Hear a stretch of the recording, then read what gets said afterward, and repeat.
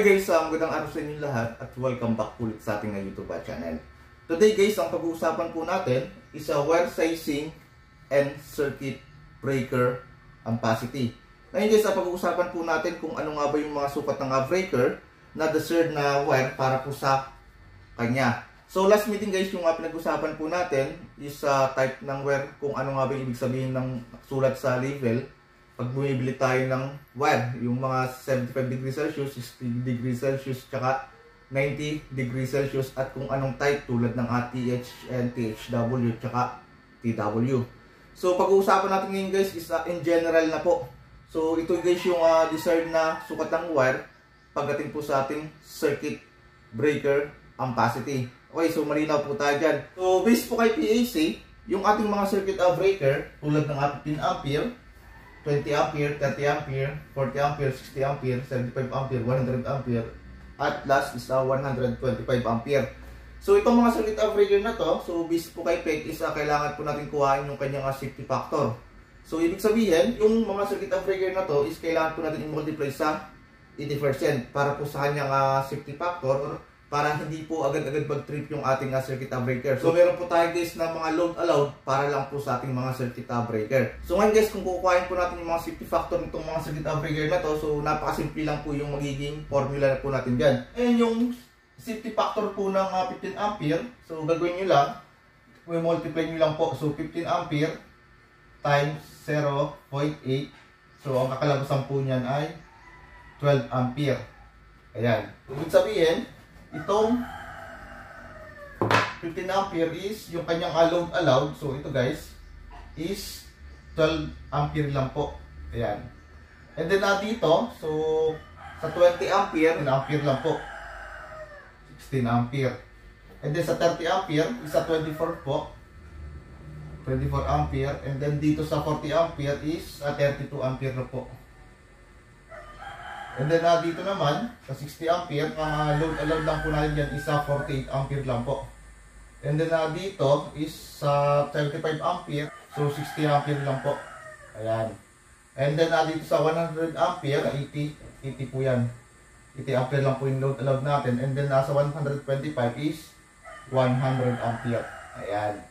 So napaka-importante guys na meron tayong safety factor para sa ating mga circuit breaker para maiwasan natin yung pagkakaroon ng overload at yung pag-trick ng ating uh, circuit breaker or yung uh, pag-reset natin.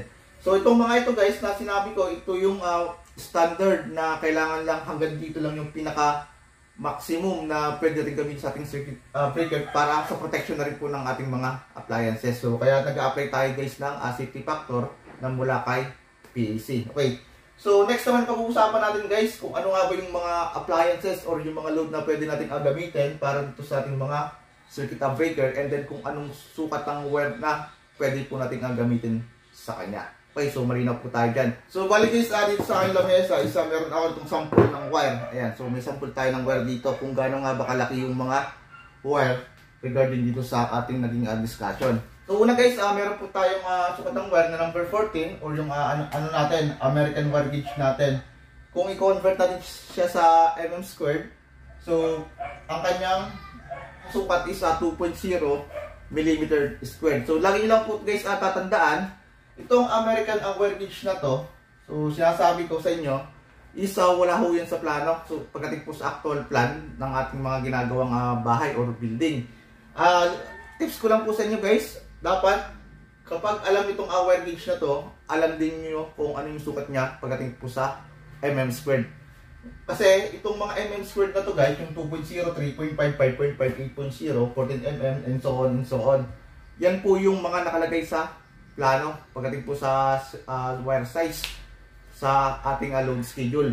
So, lagi nyo lang gagawin guys, mas maganda, ito ay itong mga MM squared na to, ito po yung inyong memoryahin para hindi kayo mahirapan kapag kayo ay mag-order ng mga materyales, kung ano yung mga sukat ng wire gagamitin natin. So napaka-importante ito guys, yung sukat ng wire. Kasi ito yung mga pinaka-basic na dapat alam natin bilang isang electrician.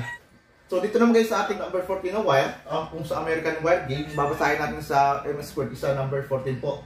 So yung allowed na circuit breaker capacity na pwede natin gamitin para sa sukat ng wire na number 14 ito is 15 ampere na circuit breaker po.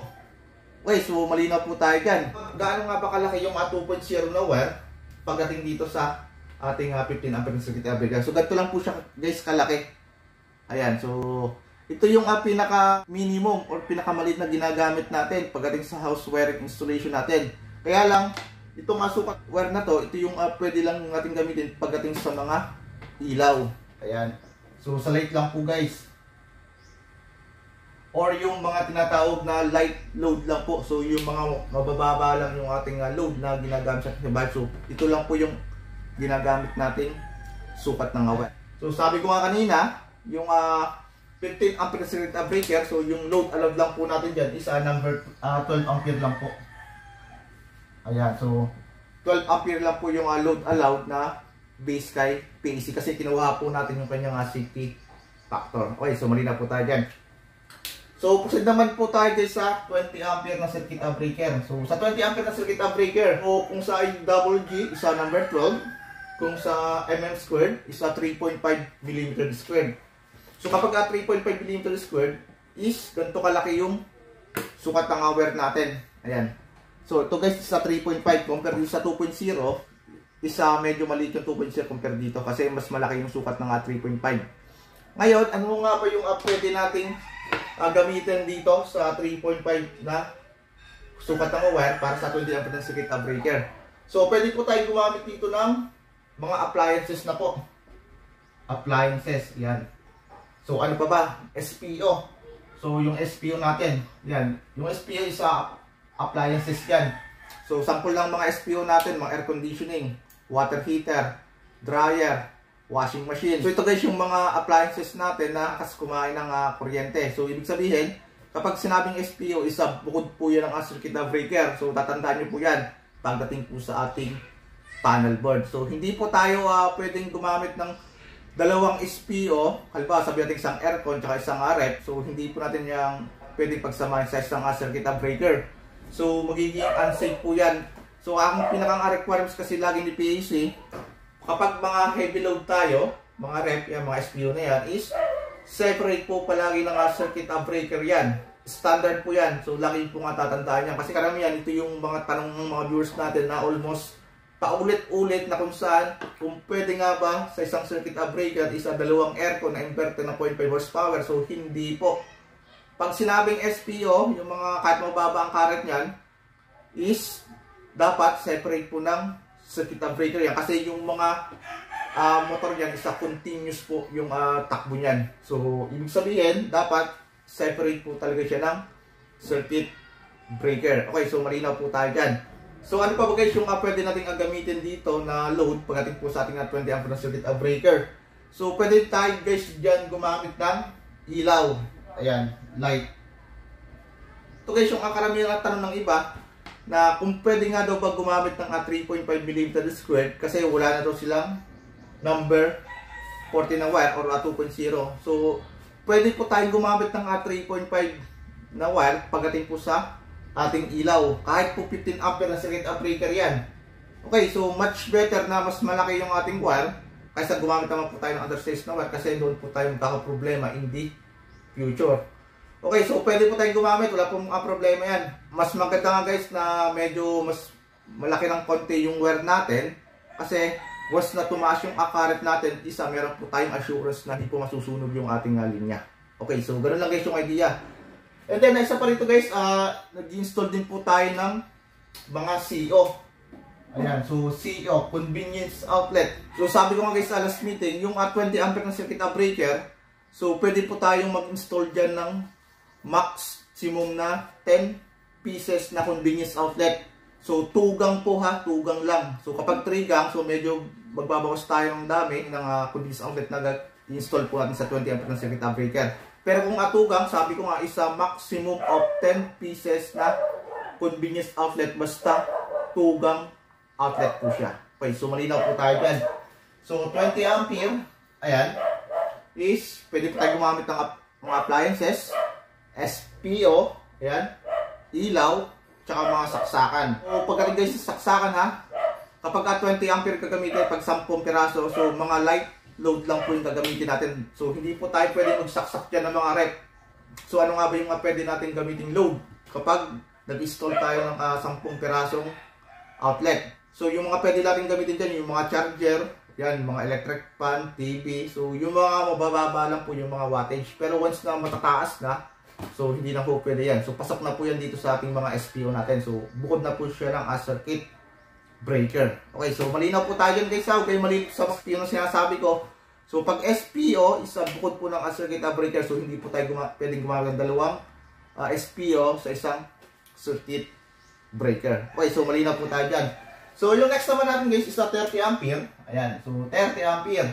So pagdating naman guys dito sa ating 30 ampere na circuit breaker and then yung kanyang hour sa 5.5. So yung mga load na pwede natin gamitin sa kanya isa mga SPO pa rin. So pasok pa dyan yung mga SPO natin. Yan, SPO. Uh, CO. Ayan. Tsaka yung mga mga motor mga motor na, yung mga water pump. So gumag 30 ampere malimit yung mga ginagamit nating mga circuit breaker. So, depende kasi yun guys sa horsepower ng motor na gagamitin natin. Kung, mas, kung malaki, edi medyo mag-increase din tayo ng uh, circuit breaker. So, yung sukat po guys niyan, so ganito po siya kalaki. Ayan. So, ito po yung uh, 5.5.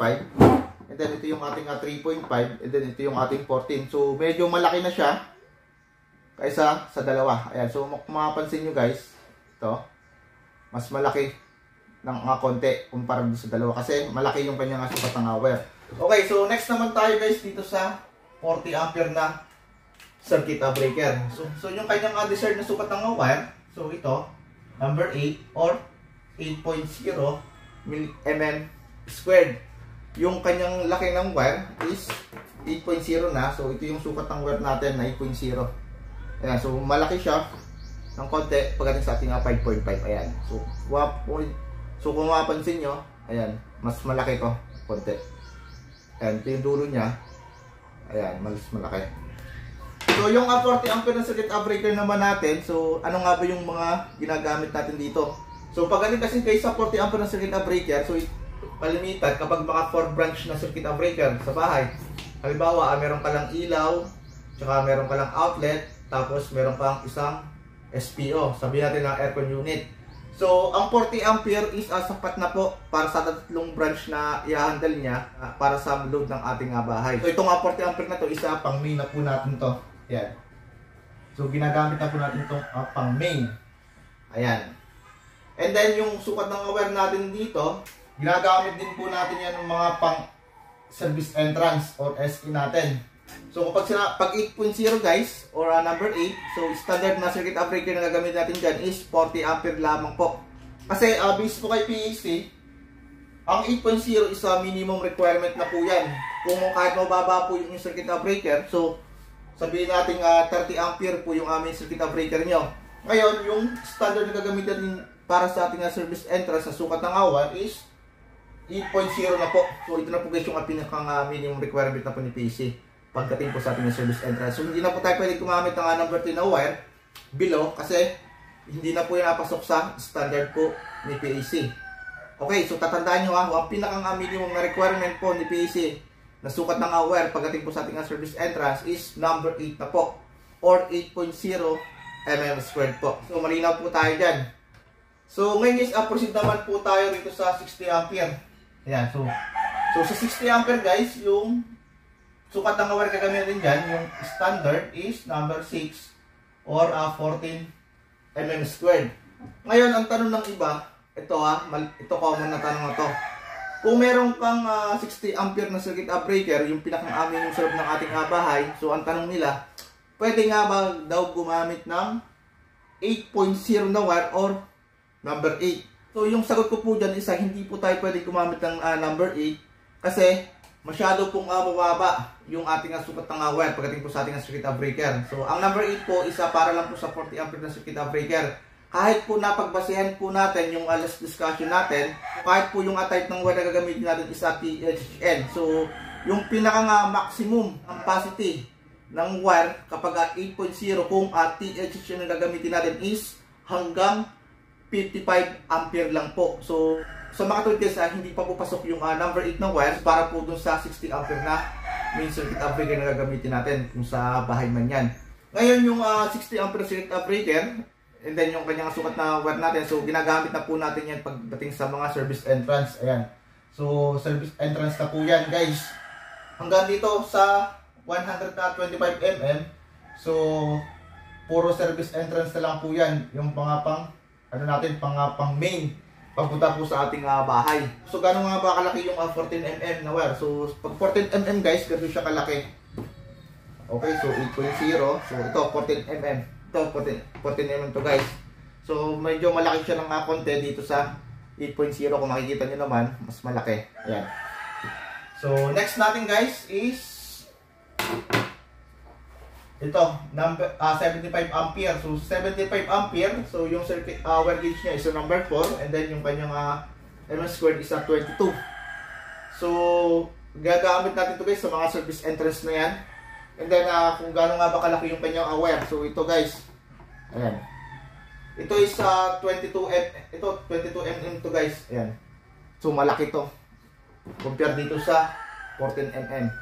So medyo malaki siya ng uh, konti. Ayan. Then ang next natin guys is uh, 100 ampere. So pag 100 ampere, so number 2 yung uh, pwede natin gamitin na sukat ng wire or uh, 30 mm square. And then yung 125 ampere, so yung wire size na gagamitin dyan is uh, number 1 sa wire gauge. And then kung mm squared is uh, 38 mm. So itong mga napag-usapan natin guys, isa ito na po yung pinaka standard or uh, general na po na kailangan na i-apply natin during installation. So ito na po yung wire sizing natin, tsaka yung kanyang circuit breaker ampacity. So tinuro ko lang sa inyo guys ito, ito yung uh, pinakang uh, common na ginagamit natin pagdating po sa ating uh, bahay. Kasi kailangan bilang isang electrician is alam nyo dapat yung mga basic knowledge pagdating po dito sa ating mga sukat ng wire para hindi po tayo magka-problema in the future. So hindi parang hindi tayo mamali at uh, maiwasan na rin po natin yung mga pagkakaroon ng uh, sunog or yung mga poor installation ng ating mga ating mga load pagdating po sa ating uh, mga bahay. Pagdating naman kay sa ating uh, bahay, so ang trabaho kasi ni circuit breaker, kaya isa protection po yan. Pinoprotektahan niyo yung mga load natin, even tayo na rin mga consumer na gumagamit ng mga load pagdating sa ating uh, bahay. So sa madaling salita, kung gagamit tayo ng undersized na wire is hindi po uh, safe yun. So ang mangyayari kasi niyan, masusunog po yung ating uh, linya. Once na nasunog yung ating uh, linya, at undersized po yung ang ginamit nating wire, isa hindi po magti-trip si circuit breaker. Kasi guys, ang circuit breaker, isa magti-trip lang po yan once na nagkaroon tayo ng mga short circuit. And isa pa ron is, once na nag-overload na po tayo or uh, nag-overcurrent na tayo. So, saka pa lang po magti-trip si circuit breaker. Okay, so kasi baka mamaya magtanong kayo, sunog na yung linya, hindi pa nagtitrip yung breaker kasi hindi pa po na-short yung dalawa or uh, hindi pa nagdidikit. So napakalagang uh, bagay guys na yung sukat ng wire natin is i-deserve po natin sa circuit breaker ang positive para na rin po sa ating uh, safety ng ating uh, bahay. Huwag na po tayong uh, magtipid kapag ating sa electrical uh, materials kasi uh, dito po nakasalalay yung uh, buhay ng ating uh, bahay. Kasi ang kuryente is hindi po yan uh, biro. So napakadelikado po yan kapag hindi nyo alam yung inyong ang gagawin. So, kailangan kapag tayo magkukutingting sa bahay, dapat meron tayong alam. Kasi pwede tayong mamatay dyan kasi gawa ng hindi po biro ang kuryente. So, nakakamatay po yan. And then, isa pa ron, ang wire naman pala guys, ang trabaho po niyan, siya po yung uh, naghatid ng current para po sa ating uh, load. So, napakalagang effort din ng wire pagdating sa ating uh, bahay. Kasi, kung uh, walang linya, is uh, wala rin tayong ilaw. So, ganun lang guys yung uh, magiging uh, paliwanag natin dyan. So, napaka-common na lang po. Importante lang po dito guys, yung uh, magiging uh, tips ko lang sa inyo. So, lahat po ng gagawin natin sa bahay, kapag once na mag-install tayo, isa insert po natin yung uh, circuit breaker para po sa ating wire ampacity. So, yung nabanggit ko kanina na type of wire, kung uh, TW, THN, uh, ito po yung uh, type ng wire natin. Much better nga guys kung uh, palagi natin gagamitin na type ng wire is sa THN. So, mas safe siya kasi 90 degrees yung kanyang uh, ampacity so hindi siya basta-basta masusunog once na lumaki po yung ating uh, ng current sa ating uh, linya. Okay, so yun lang po. Uh, sana meron kayong uh, naintindihan sa araw na to. So hanggang dito na lang muna. At nagpapaalam po si Electrical uh, Pinoy. Okay, so maraming maraming salamat po sa inyong lahat. And then, God bless po. Salamat.